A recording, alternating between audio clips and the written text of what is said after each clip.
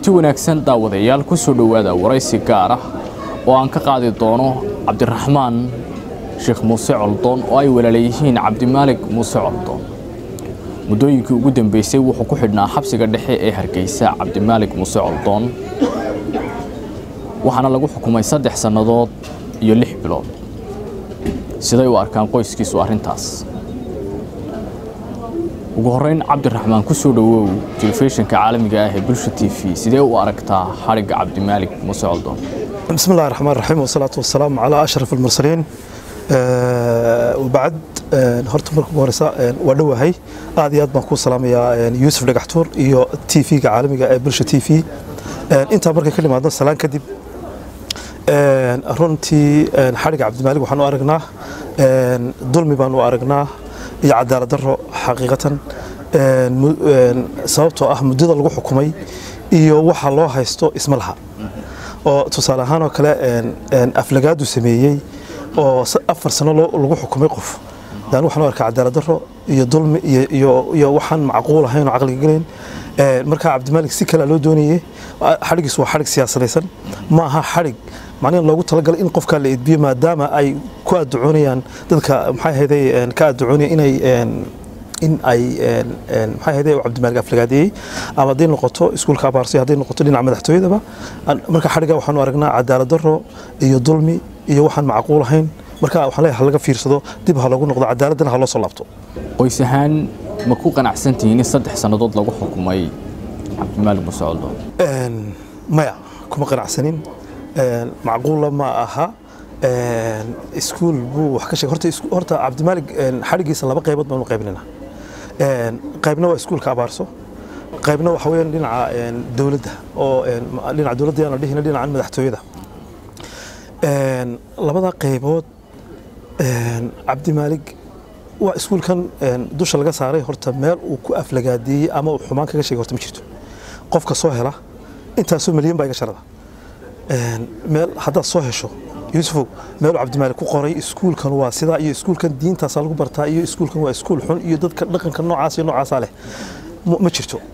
Cabdimaalig only keliya waxaa lagu haystaa sawirada uu ka soo qaatay beejka iskuulka abaarso tej uu ka soo qaatay iyo anderson cober oo ninkii soo booqday ah oo wariyahii cnnta oo dee ah nin maxay ahayday nooc kale ah. Beejkaasu ka soo macnihi waxaan ka wadaa nin nin dee u dooda u ololeeya dadka isku jinsiga inay isguursadaan oo isaga laftiisa nin kale qabo. Wacayaadu billaah ninkaasoo soo booqday iskuulka abaarso. Oo sawirro la galay isagu laftiisu uu la galay dadkuna ay ku faraxsanaayeen. Dowladduna ay ogeyd ummadda ilahayna ay ogeyd reer somaliland lagu wada ogaa ninkaasoo soo booqday cabdimaalig run ahaantii dhaliilay uu dadka weydiinaya say ku dhici kartaa nin noocaasa oo international oo la yaqaano oo intaasoo boqol oo dowladood ka mamnuuca oo dowlado gaalada xitaa ka mamnuuca inuu yimaado. Siday ku dhici kartaa inuu waddankeena yimaado uu dadka salaamo oo u bixiyo waddanka. Ay soo dhoweeyaan. Oo weliba wax u sharaxo weliba iskuulkii ugu tago.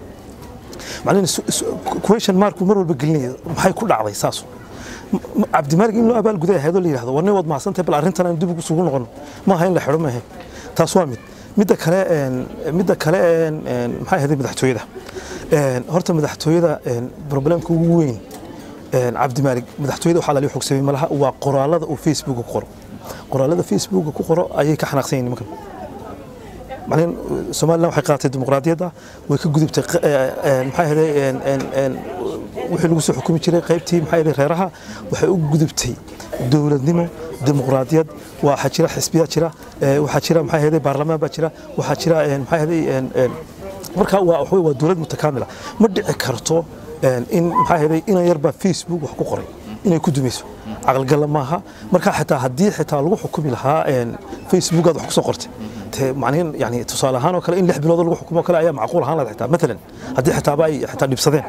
Laakiin caqligal ma noqonayso yani afar sano oo dhowdhow in lagu xukumo oo la yidhahdo afartan sano halka ku jira. Oo cadaalad darraa oo dulmiya. Wax caqligal la qaadan kara maaha waan garta. Haddii aad tidhi cabdimaalig wax dembiya ma laha.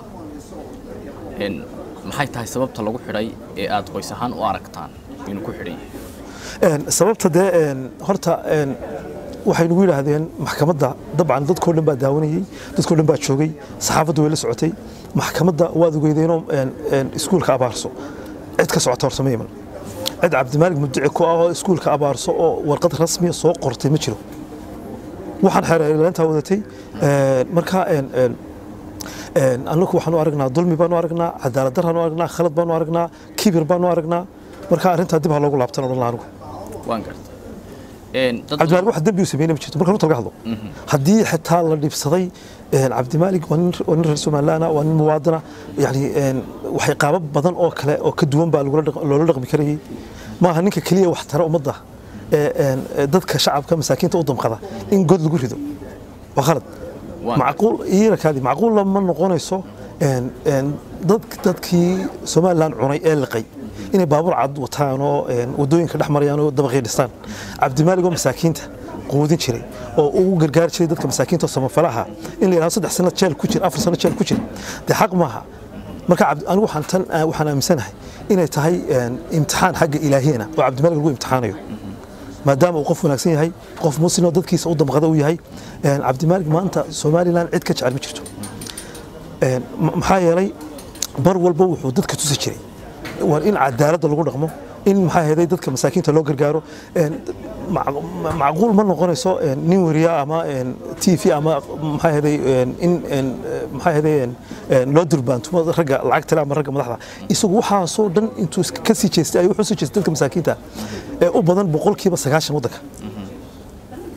Waan garta cabdiraxmaan dad badan oo reer somalilan ayaa waxay qabaan cabdimaalig inuu ka soo horjeedo qadiyadda somalilan miyaad ku raacsantihiin arrintaas idinku qadiyadda somalilan horta cabdimaalig marka ugu horeysaba tootalba kama soo horjeedo. Kama soo horjeedo weligeedna lamana soo helayo meeluu qadiyadda somalilan kaga soo horjeedo. Haddii la leeyahay cabdimaalig farmaajo la kulmay. Madaxdeenuba way la kulantay. Oo ummadda ilahi o dhan baa la kulantay. Oo intaa reer somalilan o dhan baa la kulma marka ama madaxda kale xitaa reer soomaaliya way la kulmaan. Marka cabdimaalig meel uu ku qoray ama meel uu kaga dhawaaqay inuu ka horjeedo qadiyadda somalilan ma jirto cabdimaalig qadiyadda somalilan wuu taageersan yahay waanu jecel waanu wada taageersannahay wax dhibaataana ma jirto. Waa loogu soo marmarsiyoonaya qadiyadda somalilan baad ka soo horjeedaa. Waa filin canjilad maalin walba lagu soo celceliyo. Oo dadka aan waxba fahansanayn inta badan laga dhaadhiciyo inuu qadiyadda somalilan ka horjeedo marka arrintaas waxba kama jiraan. Hadduu xitaa cabdimaalig uu ka soo horjeedo xataa anigu kuma raacsanin anoo qadiyadda somalilan shacab baa leh dad baa leh ummad baa leh iyagaa masiirkooda go'aamin kara. Shaksina ma go'aamin karo aniguna ma go'aamin karo isaguna ma go'aamin karo. Adiguna ma go'aamin kartid muuse biixiyo madaxweynahana ma go'aamin karo. Cabdiraxmaan cabdimaalig muddooyinkii ugu dambeeyey bartiisa facebooka wuxuu ku soo qorayey qoraallo aan raali gelin xukuumadda somalilan. Arrimahaasi halista ay keeni karaan waad la socotaa dhowr jeeroo horena waa la xidhay waad la socotay ma la talisay oo ma ku tidhi arrimahaasi faraha ka qaad cabdimaaligo su'aasha intaan ka jawaabin aan adiga kugu soo celiyo waxyaabaha ka mida oo cabdimaalig oo ka lida oo somalilan ku duminayo maxaa ka mid ah? Waa sida ay xukuumaddu qabto ee ay ku xidhay. Iyo shacbi badan oo sidoo kale reer somalilan. Cabdimaalig meel wax ku qoray oo haddii dee ay nimanka siyaasiyiinta is hayaan oo kale uu leeyahay war dulmiga joojiya oo cadaaladda ku dabaala dee waa taas waa iska macruuf oo macnaha nin siyaasina ma ogola in la dhaliilo nin walba wuxuu jecel inuu iska dhuuqo iska joogo loo aamuso oo isaga maxaa ahayday loo nacamleeyo taasuna dee ma suurtoobayso oo macquul maaha waddanka. Waddanku waa la wada leeyahay cabdimaalig xaq buu leeyahay anigu xaq baan leeyahay adigu xaq baad u leedahay. Inta shacabkuna xaq bay u leeyihiin inay ka hadlaan masiirkooda inay ka hadlaan wixii dulmiya inay ka hadlaan wixii maxaa ahayday cadaalad darra ah. Dee cadaalad darrada somaliland ka jirtana dee qof walba wuu ogyahay. Oo cid maanta looga sheekeynaya ma jirto. Qof walba wuu ogyahay wuu ka dharagsan yahay. Cabdimaalig dadkii berigii hore ee xukuumaddii siilaanyo mucaaradka ku ahaa ee ku kacsanaa ee khalad fahansanaa maanta waxay taagan yahay cabdimaalig uu saxsanaa wax badan buu arkayey wixiina way soo baxeen oo wallahi iminkadaasay soo qoraan. Oo dadkii aad u necba cabdimalik oo aan fahansanayn oo khalad laga fahansiiyey. Marka waxaan shacabka waa khalad laga fahansiiyey oo waa loobi waxaana kow ka ah taliskii cabdiiley taliskii cabdiiley oo miidiyaha cabdimaalig ka weerari jiray lacagna ku bixi jiray si ninkan magaciisa samcadiisa loo dilo laakiin nin ilaahay wato. Magaciisa samcadiisa ma dilmay. Cabdimaalig kor muuse socdaa. Hoosna u digmaya qadiyadda somaliland kama soo horjeedo. Meeluu ku dhaliil somaliland ku xumeeyena ma jirto. Qaar badan oo ka mida dadka reer somalilan ayaa waxay u arkaan cabdimaalig inuu yahay xag jir. Sidaad u aragtaa adigu arrintaas? Yuusufow horta kelmadda xag jir inoo qeex marka ugu horeysa xag jir oo kale ma argagixisaad ka wadaa. Maxaad ka wadaa macnaha qof liddi ku ah somalilan dee liddi ku ah idheh laakiin ha odhan waa xag jir. Xag jirka waxaa loo yaqaanaa qofka argagixisada. Cabdimaalig lid kuma aha qadiyadda somalilan abadan kuma aha. Macnaheedu haddii uu ummadda soomaaliyeed u wada jeclaado ama koonfur ha noqoto oo xamar ha noqoto ama soomaali galbeed ha noqoto ama soomaalida jabuuti ha noqoto hadduu jeclaado ummadda ilaahay uu la saaxiibo uu caawiyo uu ku dhex milmo daas macnaheedu ma aha inuu qadiyadda somalilan ka soo horjeeda. Cabdimaalig waa nin soomaalinimada jecel soomaalinimadu iyo qadiyadda somalilan yaan la isku darin. Waa kala laba shay. Soomaalinimadu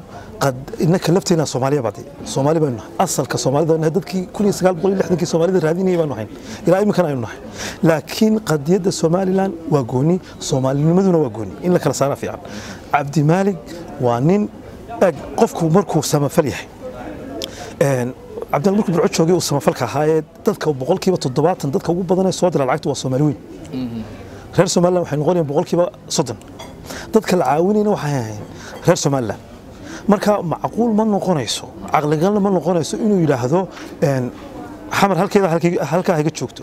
Soomaali galbeed halkaa haga joogto. Somalilan mooyaane wax kalan maqlaya ma jirto. Caqligal ma noqonayso. Oo wixii baan soconaynin. Oo dadkii masaakiinta ee la caawinayay baan macquul ahayn. Marka ninkan waa nin iska qalbi wanaagsan waa nin soomaalinimada jecel waa nin yani qoomiyadda qoomiyadda soomaalidu ku weyn tahay kama aha inuu qadiyadda ka soo horjeedo boqol jeer buu sheegay anuu qadiyadda somaliland kama soo horjeedo hadday go'aansanayaan hadday go'ayaan hadday walaalahoodba la joogayaan shacabkay u taallaa marna arrimaha cabdimaalig ma galo. Cabdiraxmaan waxaan waxaad aragtay cabdimaalig oo ka soo horjeeda etoobiya waa maxay mas'uuliyadda gaarka ah ka saaran inuu etoobiya cabdimaalig dagaal la galo? Etoobiya soomaalidoo dhan bay dagaal kula jirtaa macnahan cabdimaalik keliya kulama jirta dagaale soomaalida oo dhan bay dagaal kula jirta. Waynu ognaho siyaasadda. Qof walba caqliga uu fahmi karaa. Etoobiya waa dowlad weyn waa sagaashan milyan oo aan bad lahayn. Mustaqbalka dadka caqliga leh ee maskaxda leh ee maxaa yahay hiigsiga fog leh waxay ka fakerayaan war dadkan sagaashanka milyan ama boqolka milyan ama dee tusaale ahaan oo kale soddon sano kadib waxay noqonayaan matalan oo kale boqol iyo konton milyan. Dadkani xaggay wax kala soo degayaan ummaddan soomaaliyeed ee ah labaatanka milyan ama shan iyo tobanka milyan ee saddexda kun ee kilomitir leh. Macquul ma noqonayso. Waa in markaa haddaba sidii maskaxda lagaga qabsan lahaa la sameeyaa. Marka anaku etoobiya cabdimaalig etoobiya wuxuu uga soo horjeeday soomaalinimada. Soomaalidu arrimaheeda inuu etoobiya mar walba wuxuu ka dalbadaa inay soomaalidu wada isu tashadaan iyagu cadow ha isu noqdeen ha ismaageen ha islaayeen ha kala goyeen laakiin inaanay shu'uunta soomaalida soo dhexgelin ayuu mar walba u doodi jiray iyo dadkii masaakiinta ahaa ee soomaali galbeed la dulmi jiray jeelogaadinuu ka hadli jiray jabadda ololfuu ka hadli jiray. Marka waxaasoo dhan buu ka hadli jiray wax khaasa oo dee ummad walba dee mar qof buu ilaahay ka soo bixiya marka cabdimaalig waa ummaddan ummadda soomaalida waa waxa waa nin uu ilaahay u soo diray subxaana watacaala inay ku mahadnaqaan weyaan anigoo aanan faaninin waan gartay. Ugu dambayntii cabdiraxmaan waa maxay fariinta aad u dirayso xukuumadda somalilan iyo shacabka? Halkan waxaan ka dirayaa laba fariimood. Midna waxay ku saabsan tahay somalilan xukuumadda somalilan midna shacabka ummadda soomaaliyeed guud ahaan dowladda somalilan waxaan ka codsanayaa khaasatan madaxweynaha muuse biix cabdi inuu miskiin caawiyo cabdimaalig muuse coldoon samafale cabdimaalig muuse coldoon uu soo daayo cafiyo cabsi madaxweyne awood baad u leedahay madaxweyne waa soo dayn kartaa. Maadaama aad arrintii caare dhammaysay arrinta cabdimaaligna waad dhammayn kartaa waddankan waxaad ka dhigi kartaa wanaag iyo horumar iyo farxad. Dadkoo dhan baa ku farxaya madaxweyne. Limintaa qaado oo soo daah silaanyaba waa kii soo daayee liminta qaatee. Madaxweynaha intaasaan ka codsanayaa shacabka shacabka reer somalilan iyo ummadda soomaaliyeed guud ahaanna waxaan leeyahay. Waan caqligiina la tijaabinayaa qofka idinku inleer marka la xidho. Dadka noocaas oo kale cabdimaalig oo kale marka la xidho caqligiina iyo maskaxdiina la tijaabinaya inaad maxay ahayday aad wax walba u oo dadkiina qiimaha leh maxay ahayday faa'iidada u leh ummadda? In saa loo xidho beemeeta lagu xidho intaas san lagu xukumo dadka daalimiinta ee waddanka iyo ummadda dhacayana ay dabadda joogaan gabadha wataan. Caqligiina la tijaabinaya caqligiina kaca oo maxay ahayday arrintaa ka dhiidhiya cabdimalig siduu ummadda ugu dadaalay ugumaydaan dadaalin run ahaantii shacbiyo waad ka fadhiisateen. Weliba khaasatan wariyaasha waxaan leeyahay. Oo yuusuf adigu ku jirtid waxaan leeyahay. Wariyaasha dhammaantiin waxaan u dirayaa baaq dheer iyo baaq gaaban. Meel walba waxaan leeyahay ninkaa garab istaaga u hadla wax badan buu dad badan buu hadlay masaakiina u hadla oo ha ka aamusina daawadayaal intaasi waxaa ku eg waraysigii aan ka qaadayey cabdiraxmaan sheekh muuse coldoon oo aan kula kulmay magaalada niishobin ee waddanka sweden. Waxaan ahay yuusuf cabdalle dhagaxtuur waxaad ka daawanayseen telefishinka caalamiga ah ee bulsha t v. Tan iyo intaynu barnaamijkan la mida ku kulmi doonno waxaan idin leeyahay nabadgelyo